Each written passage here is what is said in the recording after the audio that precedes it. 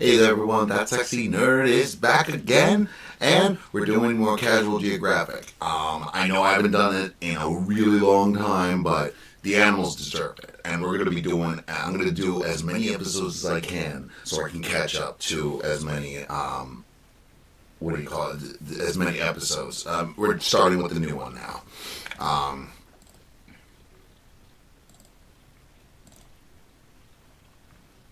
the ridiculously complicated world world of cats. Um, also, I'm probably going to do immediately after this. I'm going to do uh, the what it takes to be a lion video because that's the whole reason why I got interested back into this uh, in, into this guy. I love his stuff. I always do. Uh, I need to watch more of it. I really do, but I just haven't had time. Uh, but uh, hopefully we can catch up now. So while we get started, please smash that like button if you want to see more sexy and nerdy content, and subscribe. I think I deserve it. And, I'll, and let's do this thing, y'all. And let's do this thing, y'all. This video was brought to you by Pure Spite. What? Don't be suspicious. Oh, don't be I know this. suspicious. Don't be suspicious. Don't be suspicious. Don't be suspicious.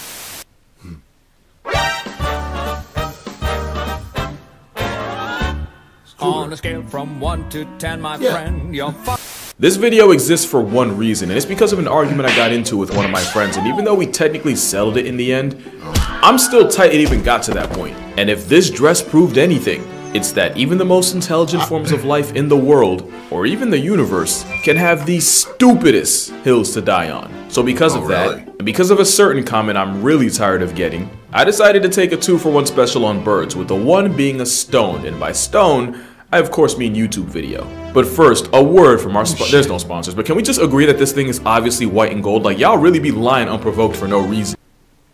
It's blue. What the fuck?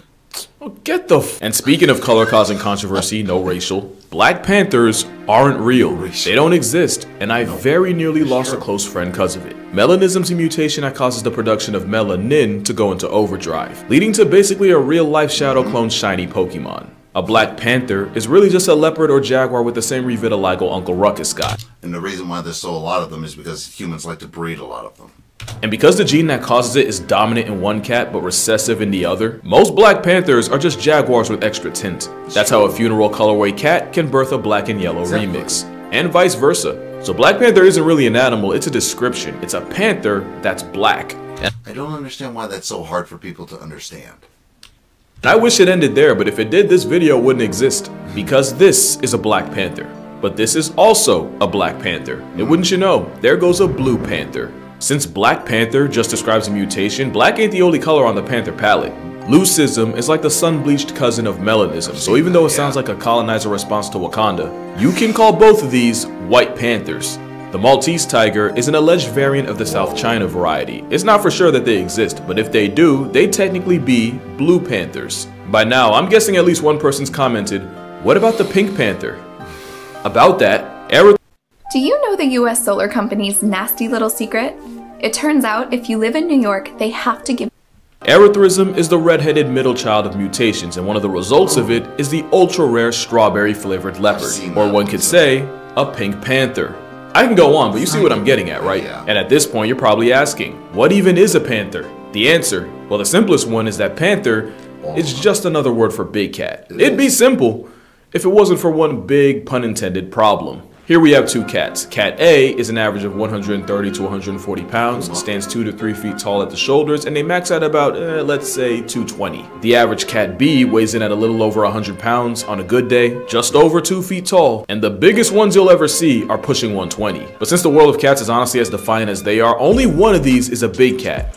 And it's not Cat A. And now you're probably questioning what Big Cat even means. And I'm so glad you asked because now we get to meet him. The Big Cat Club is made of the Panthera, or you know, the panther genus. There's technically five members, and the first is the leopard. The leopard is the pound for pound champion of big cats. And what would happen if Spider-Man changed careers and paid rent as a hitman? You won't find five animals more disrespectfully athletic than the leopard. There's not a single situation where a 360 backflip no scope is required to murk a monkey.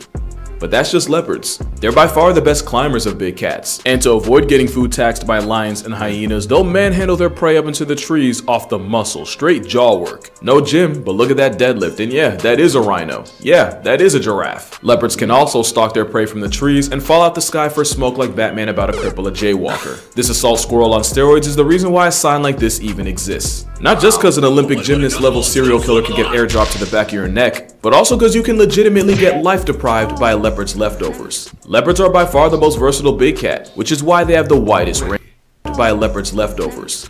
Airdrop to the back of your neck, but also because you can legitimately get life deprived by a leopard's leftovers. Leopards are by far the most versatile big cat, which is why they have the widest range. Just don't let Baboon Gang know, because that beef is anything but rare. Next are snow leopards, and this is going to be the beginning of many, many cat contradictions. Snow leopards aren't even leopards. Genetically, Tai Lung would have been closer to Tigress, and that's a shame because missing out on the name Cliff Tiger is a fumble. It's a science I saw him right there, right before he he circled it. I saw it. I was like, why are you chilling right there?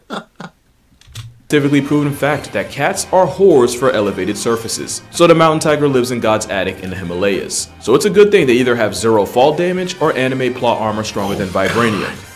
Yeah, he survived this. It also gets cold up there, so the same tail they use for balance can also be used as a DIY scarf. I encourage you to go down the rabbit hole of snow leopards using their tails as security blankets. It'll make you feel as warm as they do. They've been nicknamed Ghost of the Mountains due to how far they've gone to social distance from humanity. But with how dirty we've done their closest cousin, I don't blame them. The actual tiger is like the Chuck Norris of cats because some of the facts about them You'd swear they were a cryptid if they weren't on camera. Facts like their legs being so built, tigers can stand even after they fully pass. No, no at accredited scientific research backing this, so likely an internet myth. But those triceps, though. weren't on camera. Facts like their legs being so built, tigers can stand even after they fully pass tense. Or that the infrasound in their roar can temporarily paralyze prey. How about the fact that they're one of the most vengeful things on the planet, with one tiger crossing off 436 names off the census after she got crossed by one. How about the fact that the reason tigers are orange in the first place is because the animals on their grocery list are completely Helen Keller to the color. Meaning, if you're a deer, this is what the biggest cat in the world looks like. It's also why a tiger's stripes run skin deep. And out of all cats, tigers have by far the highest human body count. And that's mostly because of how close they live to humans. And I don't just mean in India. There's more tigers in America than in the rest of the world combined. This one's in Houston, but we've also screwed them more than any other cat. Most white tigers are literally a product of incest for human interest. Then you got probably the most famous big cat of all, the lion. They're the only ones that weaponize the power of friendship, which is why lions have the most impressive meal plan of any cat. Anything short of a full-grown elephant can get packed up by the pride. Not even elephants in general get immunity, but going for the high-risk, high-reward prey means lions also get bodied religiously. And not just in Detroit, arguably the biggest danger to a lion is their own ambition. But together, probably nothing's more impressive and makes you want to evacuate your bowels more than a pride of lions. And even with Hollywood dubbing over their roar with the tigers, it's cause a lion's roar is designed to be heard and tell anyone within a 5 mile radius that if they plan to f around, best make time to find out. I'm glad. I'm glad somebody finally brought that up because really, people are always like, yeah, that that MGM roar is is totally a lion. No, it's a damn tiger. People always look at me like I have nine heads. I'm like, no, it's a damn tiger.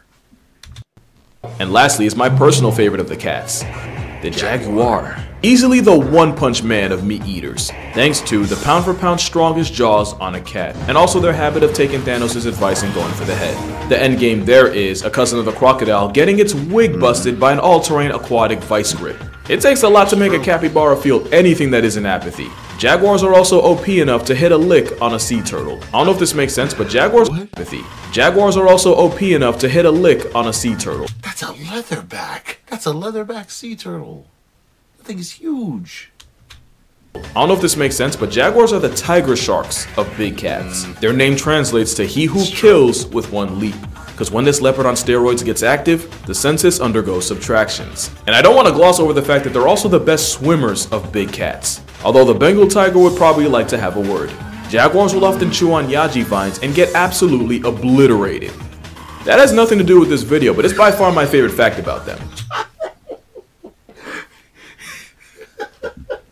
You, you see his face. He's like, Oh man, I see all the colors of the wind. I'm Pocahontas, man. So those are the five members of the Panthera genus, which makes them all Panthers. Old time, Jacksonville and Carolina flex the same mascot, which means any one of these cats being black would make it a Black Panther. Yes, even this. You don't want Now you might think that's where it ends, but call me Billy Mays, cause wait, there's more. Remember this? Well, cat B is a male snow leopard, and cat a is a mountain lion. The cat world is really just a bunch of rules and cats that break the rules, because not only is a cat bigger than a big cat, somehow not a big cat, the cat 99% of people, including Google, think of when they hear panther, isn't actually a panther. What? And also, it's not a big cat because technically it purrs, and big cats cannot purr. What the f- Well, as mentioned, cougars don't sit at the big cat lunch table, and it has nothing to do with weight class. Most experts agree that the defining trait of a big cat is a modified bone in the throat called the hyoid that gives the cat the ability to roar. So the rule of thumb is, if it roars, it's a big cat, and if it purrs, it's a little cat. Big quotes on the little. Now I gotta immediately break that rule because snow leopards, the big cat that's already on thin ice for not even being a leopard, also can't roar. What the f- Actually, it's gonna get old if I keep doing this, so you know what? I'm just gonna use Soldier Boy. Huh? Instead, they sound like if Lion King showed Simba's awkward teen phase.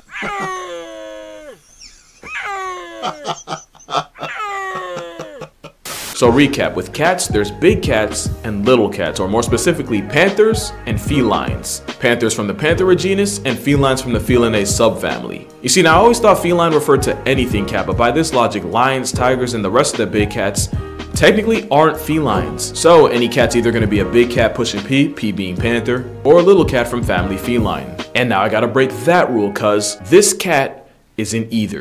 The clouded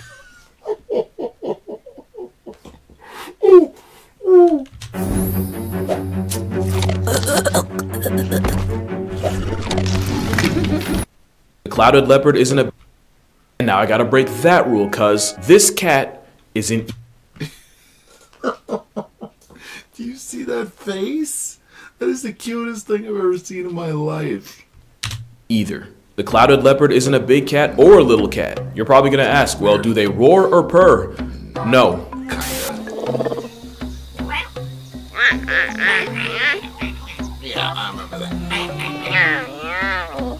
Yeah, clouded leopards do neither, and they're considered the bridge between big cats and not big cats. They're also considered a modern day saber tooth. Not literally, but because of having the most disrespectful dental of any cat. Relative to size. Speaking of size, I grew up thinking they were way bigger, but that's honestly because the first time I heard of one, it was trying to murk the Rugrats. Also, the clouded leopard isn't an actual leopard, and we can hold the soldier boy because at this point we ain't even surprised. But yeah, other than them, cats are either big cats or not big cats. Which brings us to the cougar, who, despite being the most associated with the name, isn't even a type of panther. They're actually more related to your pet cat than to an actual lion. The confusion is because mountain lions can be found anywhere from the Yukon to the very tip of South America. Being found in a lot of places means they've gotten a lot of names like puma, cougar. Yeah, I've never heard of catamount, but also panther. I mean, think about it. They're called mountain lions, but share area codes with jaguars. And also, they don't roar. Instead, they sound like a woman becoming a notch on Ted Bundy's belt. Basically, cougars prove that you might be a big cat. That was the smartest cop I've ever seen. oh, that was funny. like a woman becoming a notch on Ted Bundy's belt. Basically, cougars prove that you might be a big cat, but you're not a big cat. This roided up identity crisis might go by many names, but they catamount to a panther. And now that we've addressed that, we can address the second reason I'm making this video. Um, oh God, seriously? I am weary.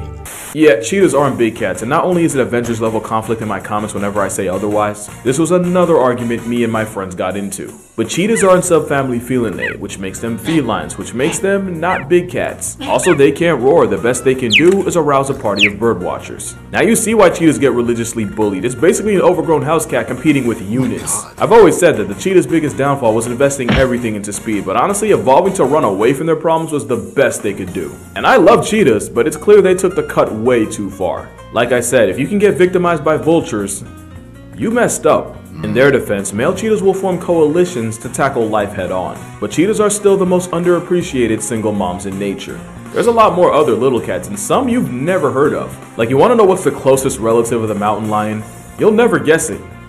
Here's an ad while you guess it. It's the Jaguarundi. So the hmm. cat named after a jaguar is most related to a cat named after a lion, even though neither of them are related to either of those. Trust me, I swear these people, these scientists or whatever, were trolling. But it's usually because somebody found something, named it first, and they were too lazy to change the name. Like, you should see how many dinosaurs and, and other animals have that, that problem. Its name Yeah. means dark jaguar, even though it looks like a UFO. Unidentified feline otter, which is actually another name they have, and they do not look happy about it. But nothing has more of an attitude aesthetic than Pallas's cat. The cat that looks like the furry epitome of shit ain't funny. But if nature wanted me to take them seriously, it shouldn't have had them built like an ice-chilled glacial Garfield. Like snow leopards, they'll also use their tails to stay warm. Except with the Palace, that means standing on their tails to keep their paws toasty. You're not beating the adorable allegations, buddy. Now, they're still wild animals, so no, you can't have them as a pet. Or, I guess anything can be a pet until it rips your face off. But if it means anything, you can adopt a Siberian forest cat.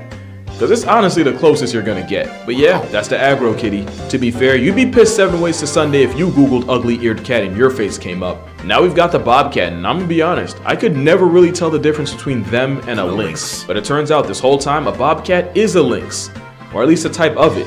The lynx is a cat with many faces, with four species of them in circulation. Yeah, I don't know what's happening here either. The Canada lynx is the most faces, with four species There's differences right there. One has, like, weird beard. One has a fatter face. Come on, there's differences here.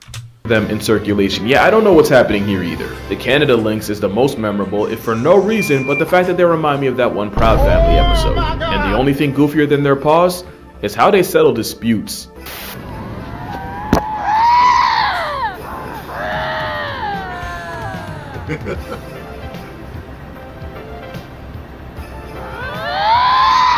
And the lynx of the desert would have to be the caracal. Caracal. Uh, Caracal. Or you might know him by his stage name, Floppa. Their defining trait is being one of the few creatures alive with an ear mullet. I say few because a river pig stole their entire flow. I can't really tell you for sure, but many believe that they use these ear tufts to catfish birds by pretending to be insects. Others say twitching the tufts is how caracals talk to each other. Also, they have what's scientifically known as stupid bounce. They're a popular pet, which I don't really get because every video I see looks like a cat prepared to catch a charge. Seriously, every single one is angry as fuck. They're always like,